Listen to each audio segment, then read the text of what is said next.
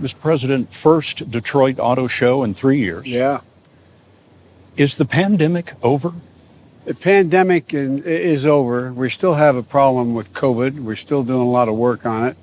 Uh, it's but the pandemic is over. If you notice, no one's wearing masks. Everybody seems to be in pretty good shape, and so I think it's changing. And I think this is a perfect example of it.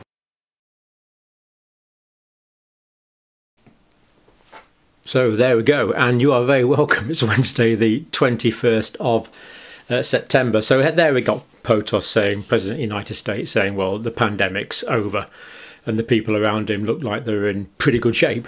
So, so, so that is encouraging. So, I guess that's as an, as an official as, as, as official as it gets really in the United States. Uh, we'll see what the CDC and all those guys have to say about it. But the the pandemic is over now. If the pandemic is over, this is the key point. Presumably, this means that we're no longer in an emergency situation. The emergency is over in the United States, and people have been talking about normality in, in the United Kingdom now for quite a long time. So I think this has got some important implications. If the pandemic is over, um, what about emergency use authorizations? If we're not in an emergency situation, hasn't the dynamic changed? Hasn't the risk benefit analysis changed?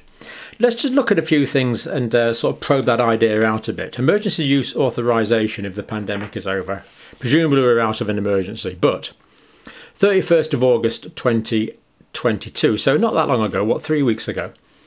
Um, today, the uh, Food and Drug Administration amended emergency use authorization of Moderna COVID 19 vaccine and the Pfizer COVID BioNTech vaccine, so Moderna and vaccines, to authorise bivalent uh, formulations for use as a single booster dose. Now, these have got the original strain, the original Wuhan strain, and they've got BA4 and BA5. Or, or uh, basically, they've got um, the, the, the, antigen, which is consistent with BA4, BA5, which is the same. So we've got the original strain plus the BA4, BA5 and that's just been authorised there on the uh, 31st of August. Uh, for each of the bivalent COVID 19 vaccines, the FDA based a decision on the totality of available evidence. So, as you would expect with the FDA, this is going to be uh, thoroughly uh, evidence based. Is it? Let's just check on what the evidence is in a minute. Um, anyway, um, the, the FDA go on, including extensive very reassuring words extensive safety, safety, safety and effectiveness data for each of the monovalent mRNA COVID 19 vaccines.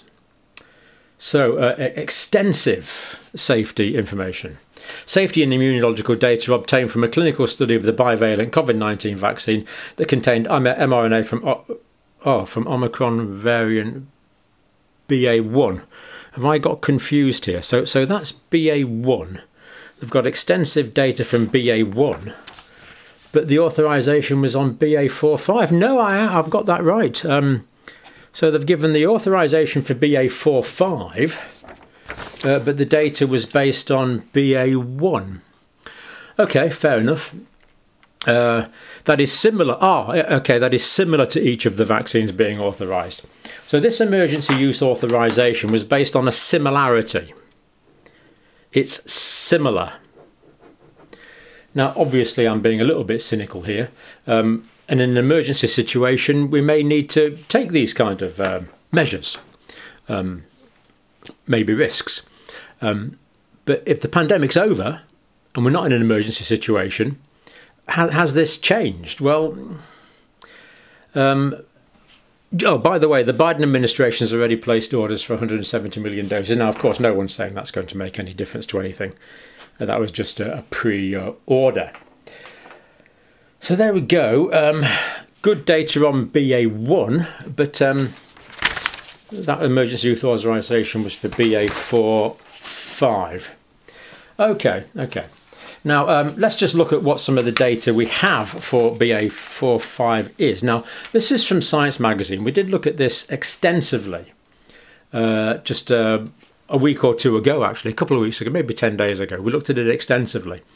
Um, from Science Magazine, peer reviewed journal, data collected by the companies, that's Pfizer and Moderna, Human data is only available on the BA1 booster. So we've got the BA1 booster. Now my memory is terrible. What was what was the um, the emergency use authorization for? Oh, that's right. It was for it was for BA4, BA5, wasn't it? So the emergency use authorization for BA4, BA5, um, but human data is only available on the BA1 booster. So it looks like we don't have human data on BA4, 5. In fact, I know we don't. Uh, BA1 trials, and again this is BA1, not BA4, 5, did not did not look for protection against severe disease. People trials are expensive, of course, and take time to organise. So even the BA1 trial, which the authorisation is not for, it's a BA45, did not look for protection against severe disease. So what can we say about protection against severe disease, given that we're lacking data here?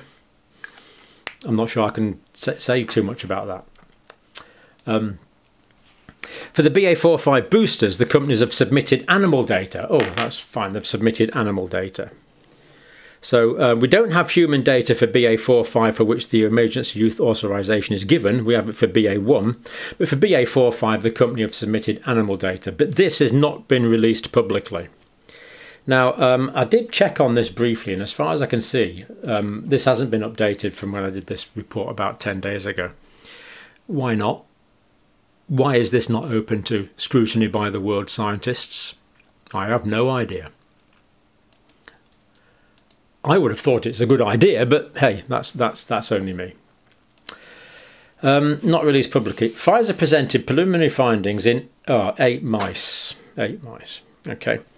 So the animal data for the BA45 uh, is on eight mice. So for the BA45 variant, we don't have human data, we don't have human safety data. Uh, even for the BA1, which we don't have vaccine, they didn't look for protection against severe disease.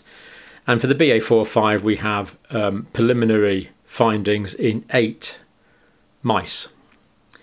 Um, I'm not making this up. this is this is directly. I've given you all the references for this.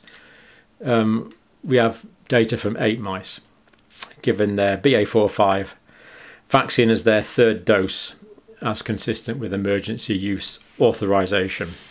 Showed an increase in antibodies responses to all Omicron variants. Well, of course, um, it's bound to do that. Um, but again, we're not given data on whether it um, promotes the B and T lymphocyte response. Clinical trials for BA4-5 vaccine will begin this month. So the emergency use authorisation's in. The, the data we have is on eight mice, and we're beginning the human trials now. And we are not uh, in an emergency. I think you can see the point I'm trying to make here is we're not in an emergency anymore. Why are we still behaving as if we are uh, in an emergency? Um, I'm not quite sure about that. August the 19th, just another example, 2022. Today, the FDA, this is August the 19th, um, FDA authorised emergency use of Novavax COVID 19 vaccine in individuals 12 through to 17 years of age. This authorisation follows a rigorous analysis and evaluation of the safety and effectiveness data conducted by the FDA. Glad to see they've got rigorous analysis and evaluation of the safety data. So, this seems to be saying to me that 18 year old young men uh, can be given um, Novavax vaccine um, under emergency use authorization. Um, that's my reading of, of, of what the FDA are saying. Moving on. 13th uh, of July 2022. Today, again, about the 13th of July, uh, the US Food and Drug Administration issued emergency authorization for Novavax vaccine, COVID 19 vaccine, uh, in, in individuals 18 years of old and older. So, so that's the that's just the progression of that, isn't it? Um, maybe look at just a couple more. Uh, 17th of June. Today, the US Food and Drug Administration authorized the emergency use of Moderna COVID vaccine and the Pfizer BioNTech vaccine in children down to six months of age. Um, I have difficulty reading my own writing sometimes. Um, uh, in children down to six months of age. No, that's what it says. That's what it says. Um, sometimes I struggle a bit because I'm a bit dyslexic. So the emergency use authorization is covering children down to six months of age, and that's definitely what it said because I've just checked. I've read it very uh, carefully. That's what it says. Uh, December 22nd, 2021, today the, uh, oh this is, this is about uh, today the US Food and Drug Administration issued an emergency use authorization for uh, Paxlovid. But again, the pandemic's over, according to POTAS, POTUS, Mr. Biden. So, are we still in an emergency situation? Well, I'll let you. I'll let you decide that if we're still in an emergency situation or not. Um, I suspect the situation has uh, changed, uh, but you're freer to discuss this than I am. So there we go. Um, the the uh, Manhattan Project. This is just a sort of story that's come to mind, really. Um, the the uh, scientists from around the world, of course, went to work on the first nuclear bomb in the Manhattan Project, and their justification for that was essential because the Nazi, Germany uh, could have been working on a bomb. As it, as it turned out, um, they were further behind than we had thought, the Allies had thought. But the idea of Hitler having a bomb, of course, would be, you know, he would have obliterated, we would imagine, New York and London the first day he had it. So lots of scientists worked on that project. It was a flat out emergency. I don't know if this is a good analogy or not. But then when Germany surrendered, um, none of the scientists resigned from the Manhattan Project. They just carried on working on it. And it was only after the dropping of the nuclear bombs on Hiroshima and Nagasaki that some some thought, just a minute, we carried on working on this when the emergency that I joined to work on this for had already passed. Now, I'm not passing comment on, on the nuclear bombs in, in, in Japan, of course not. I mean, that's been debated by historians ever since the event. But the point is, the emergency was over and people didn't pause to reflect. And afterwards, they paused to reflect. When it was too late to pause and reflect. After the immediate uh, emergency was over. So if Mr. Biden's right, the pandemic's over. In my mind, that means the emergency's over. Is it time to pause and reflect on what the heck we are currently doing. I'll leave you to answer that question and thank you for watching.